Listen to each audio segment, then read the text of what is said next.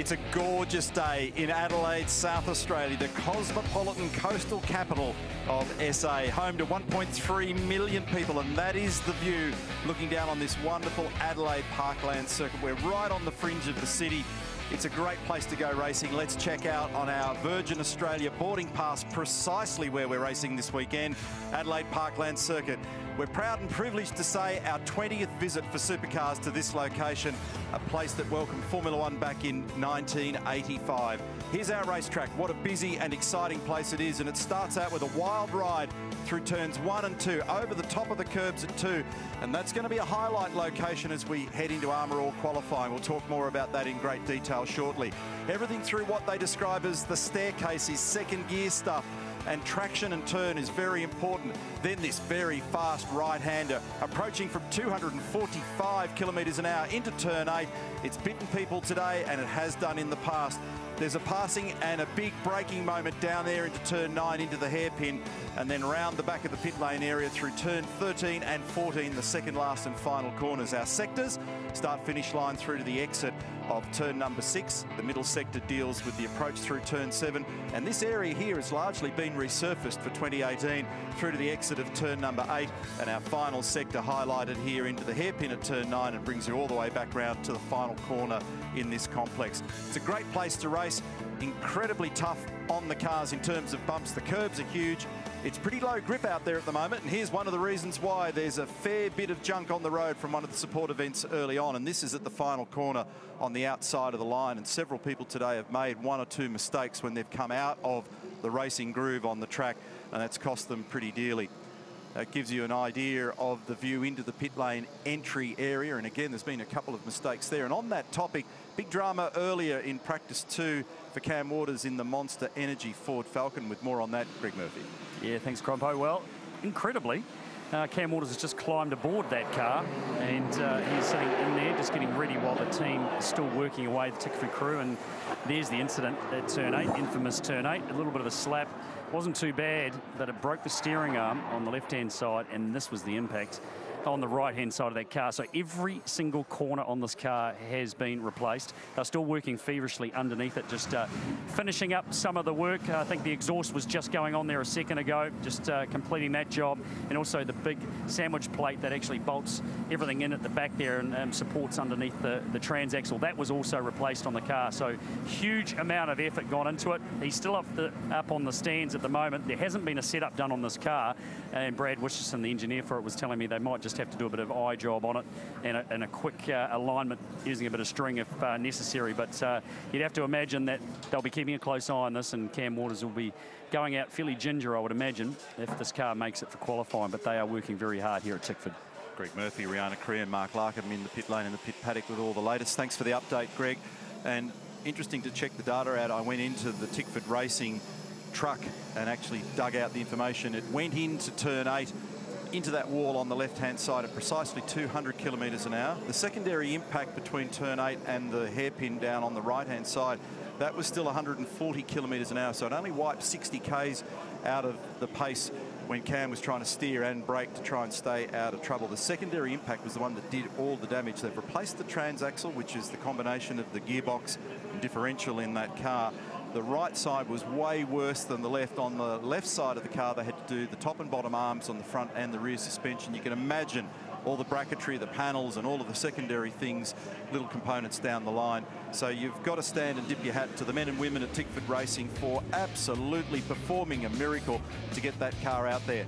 Practice number two was 40 minutes. We've had two sessions of supercars on the racetrack today. The first one went to Jamie Whincup, Red Bull Holden Racing Team. Practice two to Scotty McLaughlin. It's a great resumption of play in the battle between these two great drivers and teams. Shane Van Gisbergen who's having a bit of a battle at the moment, pulling that car up in position two from Nick Percat and Tim Slade. Adelaide drivers third and fourth. Chaz Mostert, who had problems in the first session, much stronger in the second. Then David Reynolds, who's having a bit of a battle getting a balance with that car as well. And then looking further down the order, Richie Stanaway, Tim Blanchard down the bottom. Now, Rich was the quickest of the drivers that we're regarding as rookies so far this weekend, and I say it with my tongue in my cheek because they're really not. They're quite experienced young drivers in varying ways. As we get underway now with this session, but he was on for a very good time and made a little mistake. Probably would have put him right on the edge of the top 10. But if you combine practice one and two and look at where he ended up, Stanaway is the quickest of the inverted commas rookies so far. Cars rolling out now in preparation for Armor All qualifying. But this will not determine the pole position. That'll be done tomorrow with a top 10 shootout. This will sort everything from 11 through 26. Joining me in commentary, Mark Skaife, multiple winner at this location. Our first true indication, Mark, of precisely the form for 2018. And I'll put the money on the table right now that says we will continue where we left off in Newcastle. Well, I hope so, because that was an extraordinary set of circumstances, wasn't it, Neil? But the conditions are hot. It's about 33 degrees centigrade out there now. Track temperature, we'll get a number for you, but it's massively up. It'll be 10 degrees higher than earlier. And as they struggle with Lee Holdsworth's car there with some little door problem, it looked like. And here's the, as you said, men and women at Tickford Racing who have done such a good job to get this car. I thought there was no way that car would be repaired. And it's about to wheel out in a second. Chris O'Toole, they're giving the thumbs up. So the air temp at the facility is 31, so you can imagine what the track temp is to your point. That's dramatically up on what it was in that first session this morning. So everybody weaving around trying to make a little bit of temp there at the moment. Not a cloud in the sky at the moment. Very hot. Qualifying now for race one. Fairly gentle breeze out there. So form on the board at this location and in the first practice session today for Jamie Whincup. Reigning series champion, 10 wins in Adelaide. He's got the fastest time of the weekend so far with a 1 minute 20.1 and that brand new Holden ZB Commodore, of which there are 14 of those, 13 brand new chassis here this weekend. It's an extraordinary number when you consider a 26 car field. Five drivers that we regard as rookies, as I was explaining before, and here's Shane Van Gisbergen. So Shane, the reigning champion. Blackwood's flycam shows the rundown pit straight keeping up up's the challenge there because the cars are pretty quick in that location and the run down towards turn number one. They'll reach 220 odd kilometres an hour. Fabian Coulthard. Had a bit of a chat to him very briefly because the drivers are under enormous pressure here at the moment with the constraints on their time. Front locking is driving him a bit crazy at the moment. That is front brake locking and it's a little bit too edgy in the rear was his description when he turns the car in. He said he's just got to settle it down at both ends, but it is getting better. But he expected to drop it onto the racetrack a little bit stronger. Now, a lot of drivers in broad terms, this is a very sweeping statement, but a lot of them are having problems at turn eight because of the variation in grip down there. We've seen one or two have serious problems at turn eight. There's a little bit more drive traction off turn seven, off that newly resurfaced area. They're all battling to get them turned in at the final corner. And they're also battling to get them turned in nicely at turn one. It's, it's kind of a, almost a universal debrief sheet, depending on who you're talking And the bumps are worse at turn four. And the bumps are worse at four. That's it. So as we watch Fabian now, who's probably going to end up fastest after the first run. It's only just a, an out siding lap. McLaughlin usurps that straight away. Van Gisbergen does the same. So Van Gisbergen 21.9, McLaughlin 22.1, Craig Lowndes 22.4, Jack Le Brocq 22.8. These are almost not worth mentioning until they get serious. And we're on board with Shane Van Gisbergen. I was saying to him before about the way this car's riding the bumps, and funny, Roland Dane was sitting there with me, we were talking about how nice it was at turn four at Wakefield Street, and Shane said, well, oh, okay, I, I thought ours was really bad. I'm going to stop complaining about it then. uh, I mean, that's the fact, isn't it? Yeah, they've all got their hands full. They yep. changed a transaxle on this car between sessions as well. Lee Holdsworth, Preston Hire Racing. This is not a brand new chassis, but it is new bodywork on the car. Got off to a pretty strong start so far in car number 18 for Preston Hire with 12th and 14th, sort of a midfield position. A lot of hard work from that group over the summer period to turn it around.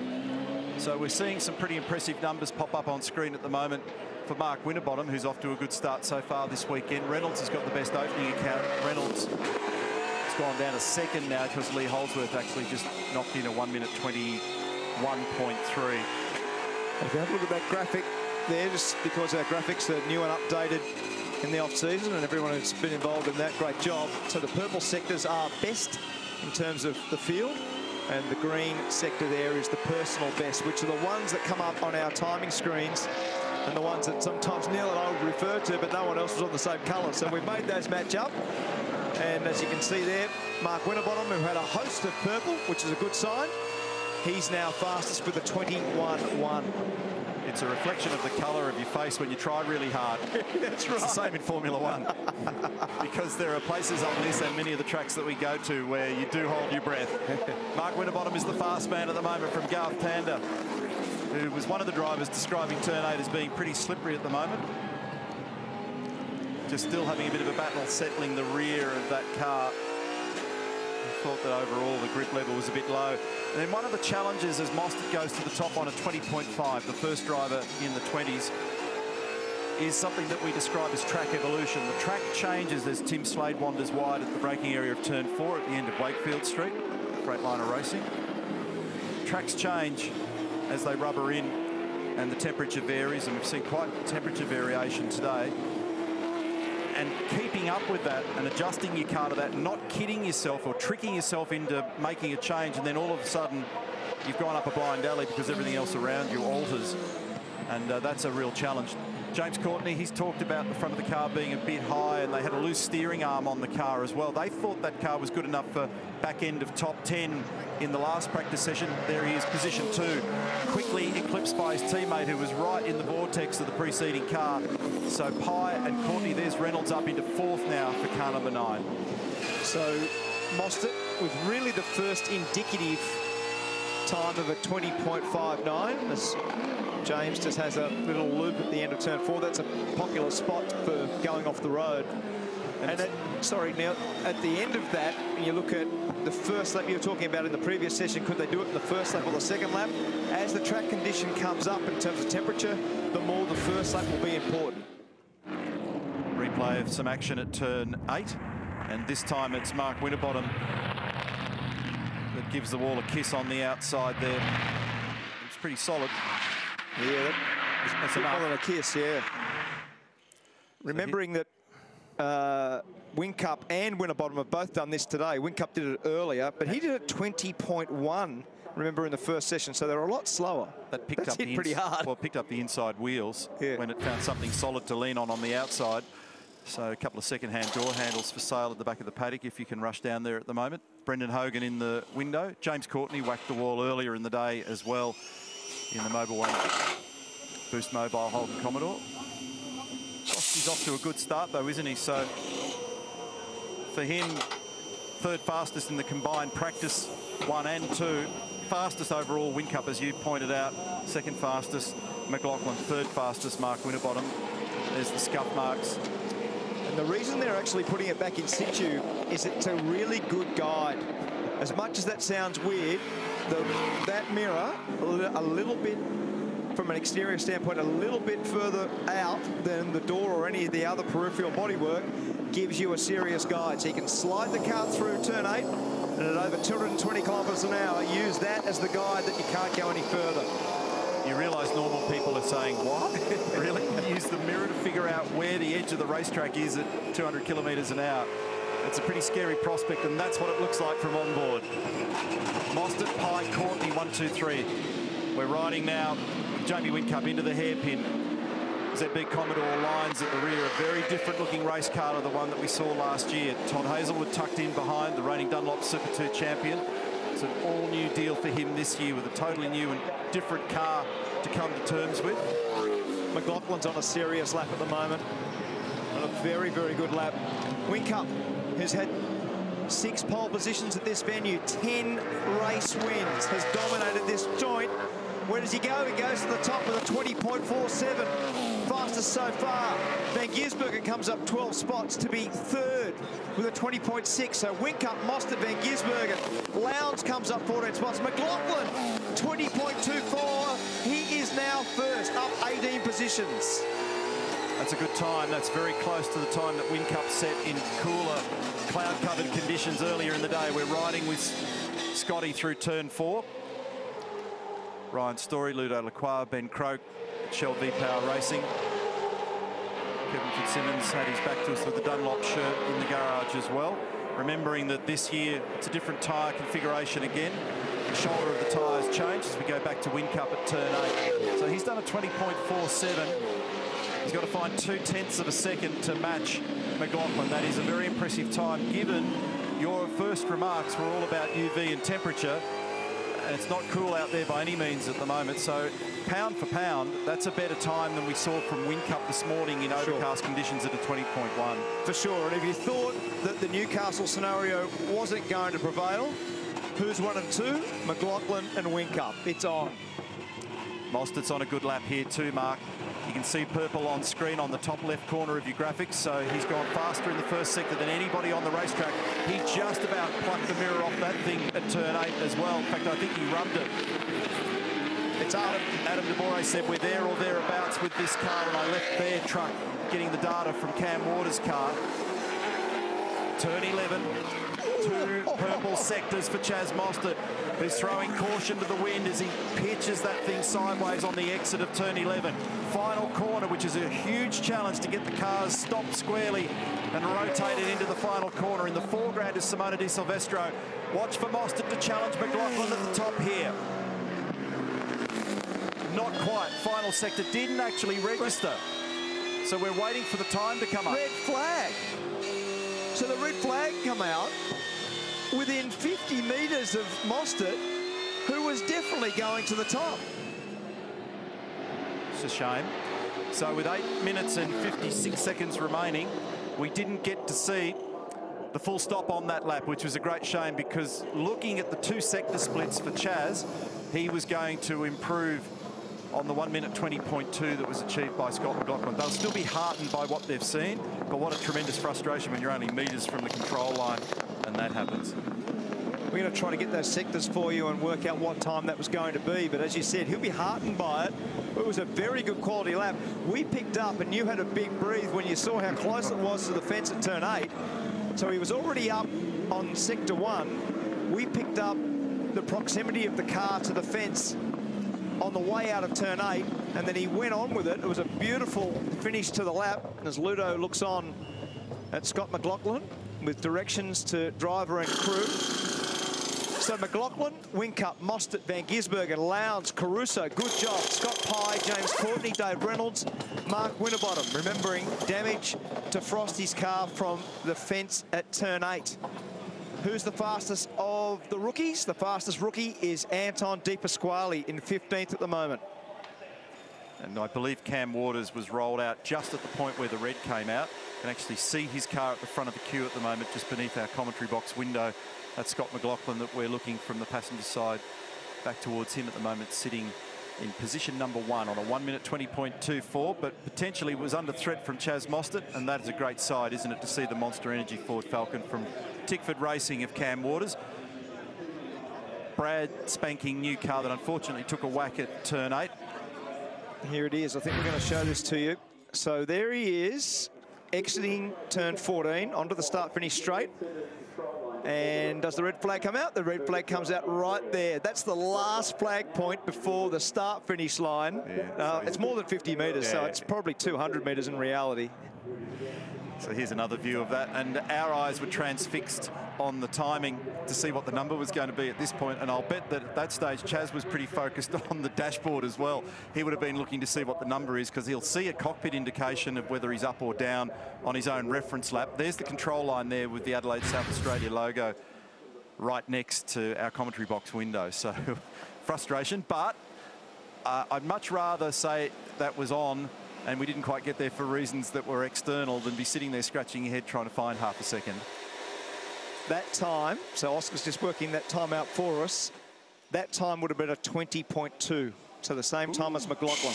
That's pretty uh, tantalising, isn't it? So that's the two best sectors that he had with a lap from before to put an amalgamated lap together, 20.2. So it might be slightly better than that, but a great indication of speed for Chaz Mostert.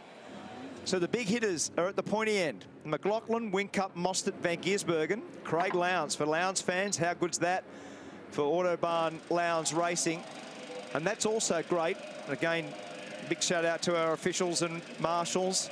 Fantastic job to clear that debris from the exit of turn 30 eight. Seconds, a very dangerous seconds. and fast exit. And well done again for all your efforts. Blackwood's fly cam as everybody starts to think now about rolling out and joining the queue in the lane as we'll get close to the resumption of play. The red flag will be released.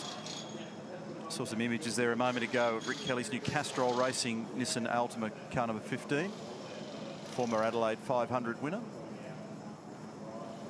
So you can see there's already half a dozen cars up there in the pit lane exit. And this is what happened to Cam Waters. A correction, this is what happened to car number 19, Jack I should say. I beg your pardon. Jack Yeah. Le Brocq in the Tekno car. This is a brand new car. And uh, there's quite a few drivers that are having, as I said before early in this call, quite a battle in their hands, trying to get the read between the varying grip levels at different parts around the track.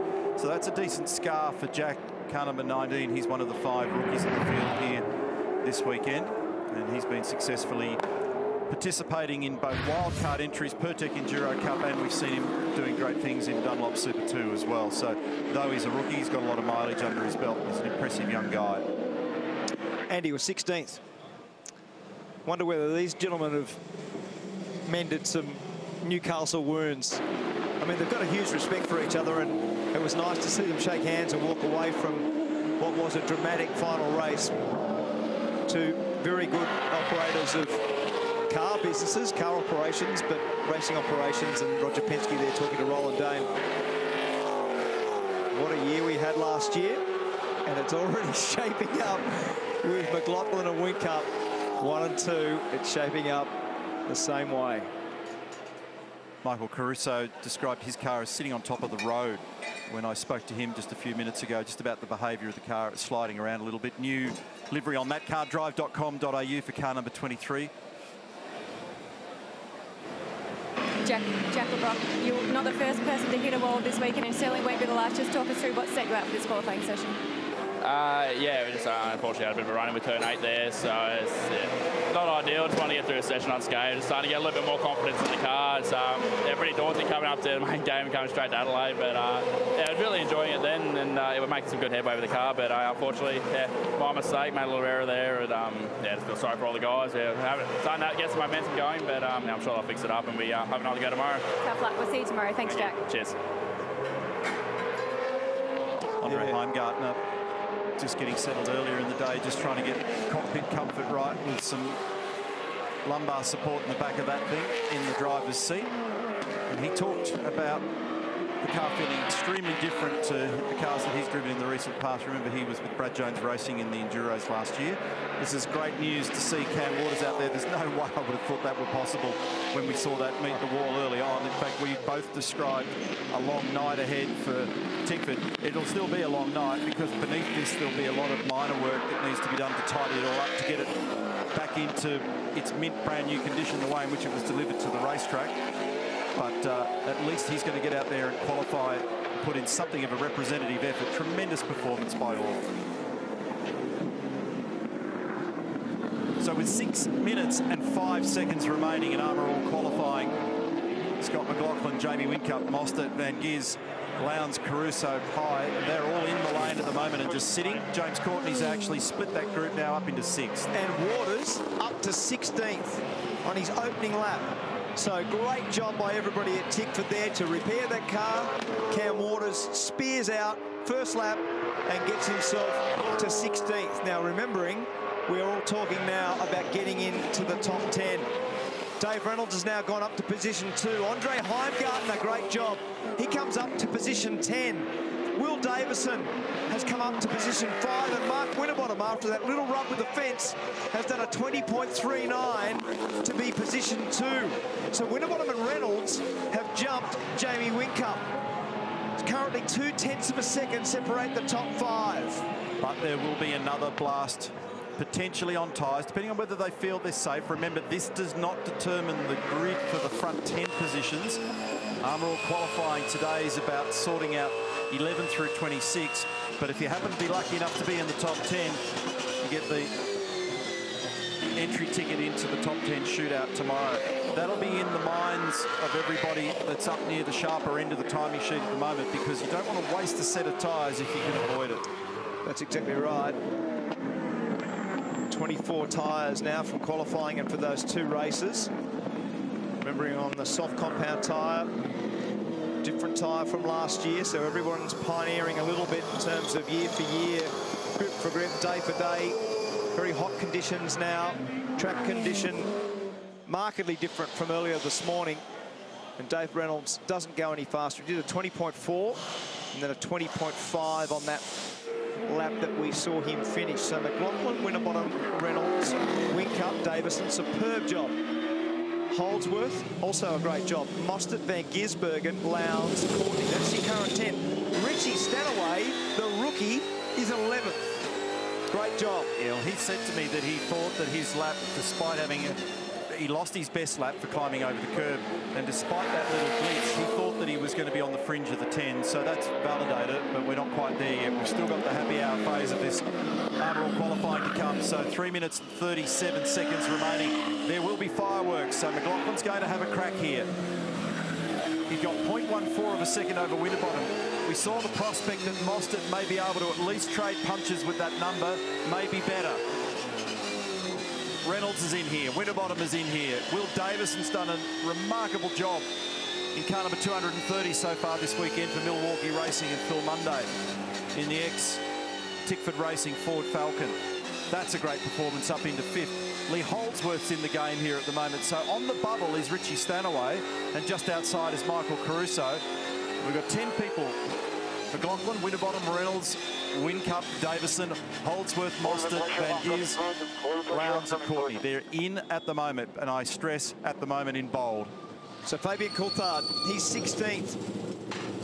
Can he improve? Dave Reynolds is going to park it. I just heard them on the radio. They're going to live on the 20.4 and hope that that stays in the 10. A 10 now is separated by 0.5 of a second. 20.7 is the cusp. That's the threshold time. You've got to beat a 20.7 to get in there, but you might have to do a 20.5. The worry is that there's a bunch of people in that party. 20.4 and 5 is the popular number all the way down to about 9. So it, it's, it's risky, but they need to try and also preserve rubber. Okay, here we go. Two minutes of raw excitement, supercar style. What has McLaughlin got in store? He got through. He got through just. So that was the first breath-holding moment because you worry about whether you'll surf clean over the top of the curb there and cop a hop. But that wasn't the case. Turn five. So Reynolds is out of the picture, but he's currently sitting in third. He'll watch with interest. McLaughlin, Winterbottom, Reynolds Whincup. That thing was completely out of breath in second gear between turn six and seven. Now watch the run here to turn eight.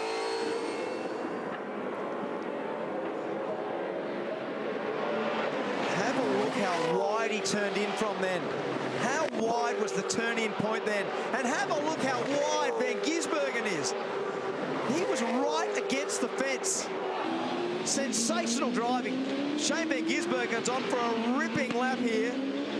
That was so wide, he almost had the mirror touching the fence on the way into turn eight. So here's McLaughlin in the foreground. So the heavyweights are at one end of the track at the moment. The times will change. So McLaughlin hasn't shown any improvement, either personal or sector best. Van Gisbergen is the one to watch based on his numbers. So Scotty's done a 21.7, not a great lap at all with 43 seconds remaining, but he is away again. Van Giz has done the 20.2 to put him up at P1. so Shane, and he's got a curb hop on this lap, but his 20.2 is safe. Save the tyres. Don't hold anyone up, please. So Great job. Don't hold anyone up. Thank you. 10 ten thousandths of a second. Zero, zero, one of a second is the margin between Van Gisbergen and McLaughlin. McLaughlin was the fastest. Now Whincup is the fastest in the first sector. So this is not over. Percat jumps up. He comes up 16 positions to fifth. Who else is on the cusp? Rick Kelly's gone into ninth. Courtney up 11 spots. Exit is now Checker flag is now out as we pick up Mark Winterbottom. We've got big trouble for Whincup in the wall. A disaster for the reigning champion. Okay there, buddy? This is a big story. He's currently in seventh.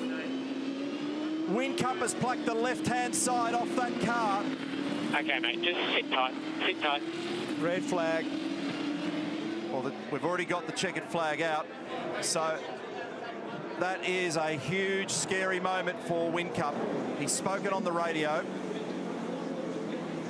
James Courtney did a 20.25 just before that come out, Neil. That's a great lap by James Courtney. As we look on board now with Jamie Whincup. He's been the master. We've said it before, six pole positions at this place, but that is a very used-looking Red Bull Holden Racing Team ZB Commodore. So the drivers in varying sessions today that have made contact with the turn eight wall, James Courtney, Cam Waters, Jamie Whincup, Mark Winterbottom, Jack Le Brocq. It's a fair lineup of talent. Absolutely. And we've seen people give it a real rush there. Now, good news is that Jamie is okay, but that car is not. That car certainly isn't. here it is. So it's made contact quite early. We'll just try to get that a little bit earlier for you. But that damage, because you just can't keep it off the fence then. So there's two things that can happen. Here we go. No, gone. He actually lost the rear of the car, unlike any of the others so far. All the have been essentially understeering, front of the car lacking grip. There's that wheel going. The debris fencing did a really good job to contain that tyre and wheel that was firing off there. Now have a look how sideways this car is. Sideways, sideways. Misses the turning point, gets the grey, which is the outside slippery surface, and had no way of correcting that car. There's the tyre. Actually jumped over the car at that point there. That's quite lucky. And watch this, the debris fencing catches the tyre and wheel. And it then runs down the escape road. Shane Van Gisbergen was having a good look there. Well done. That could have been quite a big moment. So, what a slide. Have a look how sideways that car was.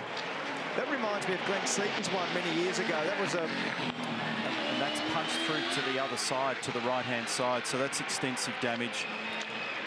Pushed everything across on the transaxle and all the rear suspension, and it's actually popped the right rear Oh. wheel out the other side. Look at that. force is unbelievable. So most of the time today, we've seen guys just miss the turning point and run into the fence with the front undergripped. As Shane Van Gisbergen and Grant McPherson look on. Mark Dutton there to your left. David Cauchi also looking. Now, having triggered a red, um, He'll lose his fastest time, won't he? yeah, Which that's already done, hasn't it?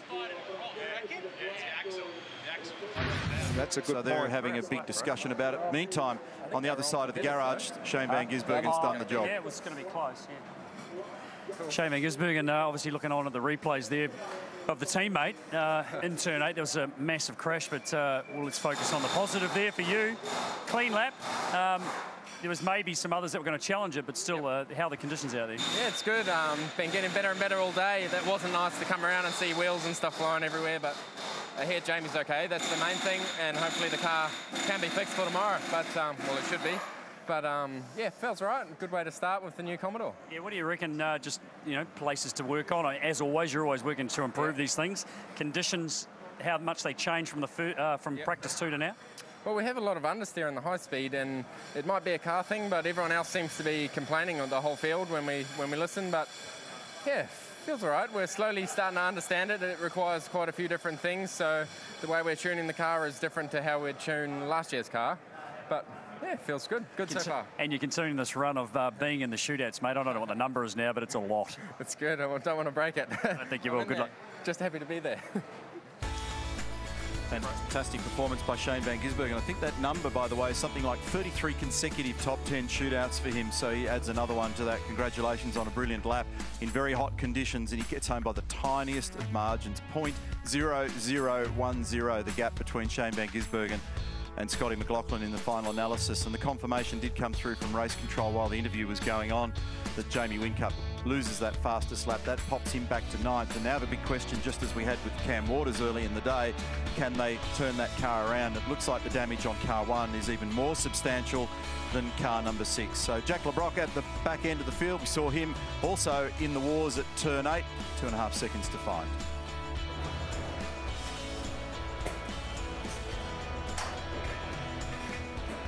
Cam Waters, I think most people after practice two would have written you off and said that we weren't going to see this car until tomorrow. Fantastic that the team got this car for you uh, out there for qualifying. How was it? Um, Oh yeah, it's awesome team effort. I'm so proud of the, the guys at Tickford and everyone that put in to get this car back out there. So um, yeah, I thought my day was finished, but um, yeah, managed to get back out, which was absolutely awesome work. And um, the car wasn't wasn't perfect. Steering was out and didn't have the right springs and stuff in it, but um, we got out there and yeah, that, that next last or that last lap before the red come out would have probably almost got me in the 10. So um, yeah, I'm wrapped. Mega job by the team to, to get some pace out of the car as well. What does need to happen overnight to really just neaten everything up for tomorrow? Um, yeah, they'll just probably go through the whole car again. They'll um, scale it and, and, make sure everything they put in is actually right. So, um, yeah, I'm actually pretty shocked that it was as good as it was, to be completely honest with you. Fantastic job by the team. Thanks, Cam. Thank you. Cheers. Hey, Will Davison. Uh, no, no, go on. You, you, you hydrate yourself, mate. Give those uh, biceps a flex. Uh, Ree's watching. Hey, um, mate, uh, that's very, very impressive to come out of the box. You were fastest Falcon a lot of the day. Uh, has that surprised you?